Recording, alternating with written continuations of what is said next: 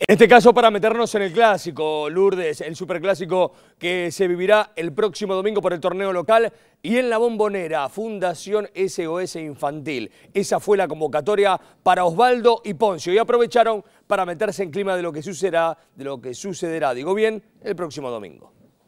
Creo que el partido del domingo es muy importante, eh, sobre todo porque después hay otro superclásico en cuatro días. Eh, Así que estoy trabajando junto con mis compañeros para llegar de la mejor manera al domingo y después paso, paso a paso. no, no, lo ves particular el otro, con toda la gente de River en contra, con todo lo que eso implica? No, no lo estoy pensando en este momento, ya tendré tiempo para pensar. todo, la verdad que...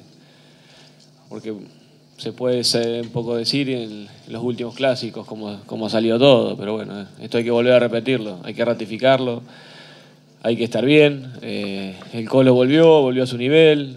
Siempre lo dije, que uno cuanto más juega mejor. Ahora vengo de un emparate y nada, trataré de en la semana ir agarrando ritmo, que es lo que uno, uno lo hace sentir bien y, cuando Marcelo disponga estar preparado, porque, porque es lo que vos decís. Los clásicos marcan, los clásicos son los que te dan la posibilidad de, de que el hincha se refleje en uno.